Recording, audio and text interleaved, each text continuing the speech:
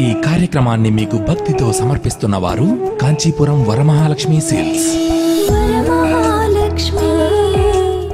అరటి పూలతో అర్చన సాయి అనుగ్రహానికి నిచ్చెన.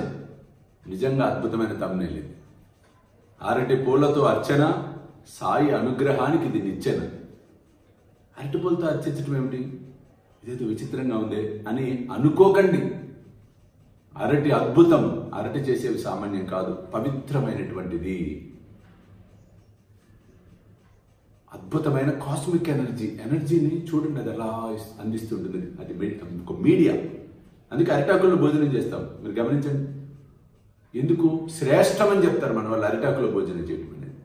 పితృదేవతలకు ఆర్థికం చేసేటప్పుడు కూడా అరటితోనే దోణెల్లాగా తయారు చేస్తాం. కళ్యాణాలలో శుభకార్యాలలో ఇంటికి కూడా గడపలకి అలంకరణ కుమ్మాలకు అరటితో అరటి బోధలు కడతాం అరటి చెట్లు కడతాం. అరటి శ్రేయస్కరం. అంటే ఇక్కడ మనం గుర్తుపెట్టుకోవాల్సింది ఏంటంటే గుర్తించవలసింది ఏంటంటే ఒక పవిత్రమైన అద్భుతమైన అనంతమైన శక్తి కలిగినటువంటి దైవాన్ని పవిత్రమైనటువంటి వస్తువులతో పూజించినట్లయితే పవిత్రంగా మనము మనకు చెందే వస్తువులు అవ్వచ్చు వ్యక్తులు అవ్వచ్చు విషయాలు అవ్వచ్చు అన్ని పవిత్రమైనవే చేస్తాయి మన దగ్గరికి. శుద్ధమైనవే చేస్తాయి మనకి. కాబట్టి ఈరోజు అటువంటి అద్భుతాన్ని అందించే అరటి పూలతో బాబాను పూజిస్తే ఎటువంటి లాభం ఉంటుందో మనం తెలుసుకునే ప్రయత్నం చేద్దాం. ముఖ్యంగా ఈ పూజ నేను నామం కూడా చెప్తాను. ఏ నామంతో అర్చించాలో దానికన్నా ముందు స్వామి మీరు అప్పుడే అయిపోయింది. కొంతమందికి అనుమానాలు వస్తున్నాయి. అరటిపూలు ఎక్కడ దొరుకుతాయి? అరటిపూలు కంగారు ఏమీ వద్దు.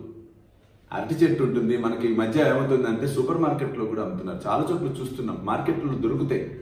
అరటి పువ్వు దొరుకుతుంది కదండి. అరటి పువ్వు అంటే అమ్మో కొంతమందికి అనుమానం వచ్చేసింది. నాకు వినిపిస్తున్నాయి మాటలు. ఒక్కొక్క అరటి పువ్వు ఎంత ఉంటుంది కదక్క ఎన్ని అరటి పువ్వులు అమ్మో! అట్లా కాదు. కంగారు పడకండి. అరటి పువ్వు తెచ్చి దాన్ని ఒలిచి లోపల సన్నగా ఉంటాయి ఇంతంత పూలు.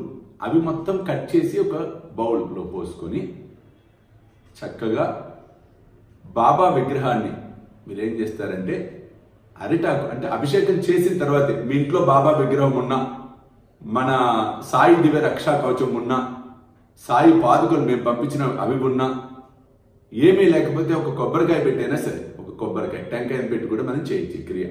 బోధ అంటే పీచు తీయని టెంకాయ.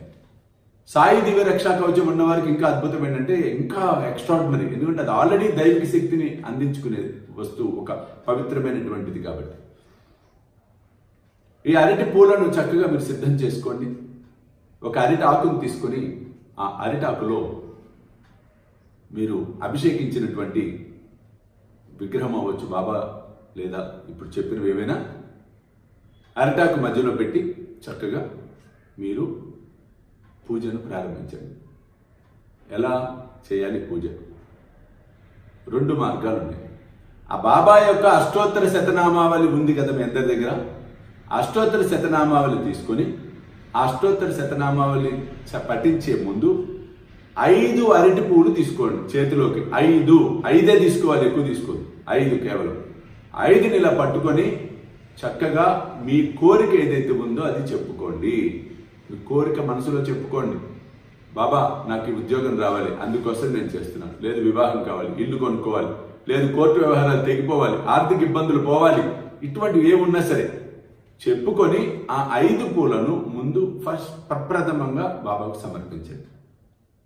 అదైపోయిన తర్వాత ఒక్కొక్క పువ్వుతో ఒక్కొక్క పువ్వుని తీసుకోవాలి. ఓం శ్రీ సాయినాథాయ నమ. ఆ పుష్పాన్ని బాబా దగ్గర పెట్టండి. ఓం లక్ష్మీనారాయణాయ నమ. ఓం కృష్ణరామ శివ మారుత్యాది రూపాయ నమ. ఓం శేషసాయినే నమ. ఓం గోదావరి తటశిల దీవాసినే నమ. చూడండి ఎంత నెమ్మదిగా నేను చదువుతున్నా. అలా చదువుతూ ఒక్కొక్క పువ్వు నల ఒక్కొక్క పువ్వు నల. నూటెనిమిది పుష్పాలతో అరటి పూలతో పూజించారు. అలా ఐదు రోజులు పూజించారు. బాగా వినండి ఐదు రోజులు పూజించారు. ఈ ఐదు రోజులు ఆ పూలను అలాగే ఉంచండి. మొదటి రోజు నూట ఎనిమిది రెండో రోజు అంటే బుధ గురు శుక్ర శని ఆది ఇలా చేయొచ్చు. లేదు శని ఆది సోమ మంగళ బుధ. శని ఆది సోమ మంగళ బుధ. అంటే గురువారం లాస్ట్ ఐదు రోజులు అయిపోతుంది ఆరో రోజు అవుతుంది. అట్లా ఐదు రోజులు కూడా మీరేం చేస్తారంటే అరటి పూలతో పూజించండి. ఐదు రోజులు అయిపోయిన తర్వాత అంటే మీరు ఇప్పుడు అనుమానం రావచ్చు పూజ అయిపోయిన తర్వాత ప్రసాదం ఏం పెట్టాలి అని. అరటి పండు నైవేద్యం పెట్టండి. అరటి పండు నైవేద్యం పెట్టండి. ఆ తర్వాత ఈ ఐదు రోజులు అయిపోయిన తర్వాత మీరేం చేస్తారంటే ఆరవ రోజు ఈ పూలు ఏవైతే ఉంటాయో వాటన్నిటిని మీరు చక్కగా దునిలో వేయచ్చు.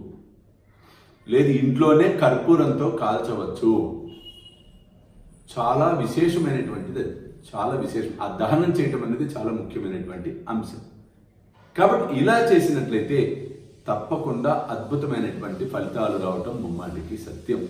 ఎందుకు? ఒక పవిత్రమైనటువంటివి. ఐదు రోజులు చూడండి అరటిపండు నివేదన చేసి ఇంటిల్లి బాధి అరటిపండు ప్రసాదాన్ని మీరు స్వీకరించే ప్రయత్నం చేయండి. ఇలా చేయండి. నిజంగా సాయి అనుగ్రహం అన్నది ఎలా కలుగుతుందో ఎలా ఎలా భవిష్యత్తులో మనం ముందుకు వెళ్తామో అద్భుతాలు ఎలా జరుగుతాయో మీరందరూ చూడటం ముమ్మాటికి సత్యం. చూస్తూనే ఉండండి. శ్రీ సాయి సర్వస్వం యూట్యూబ్ ఛానల్ అలాగే సాయి విశ్వచైతన్య స్వామిజీ ఫేస్బుక్ ప్రొఫైల్. సర్వేజన సుఖినోభవంతు సర్వం శ్రీ సాయినాథార్పణమస్తు. జై సాయినాథ్.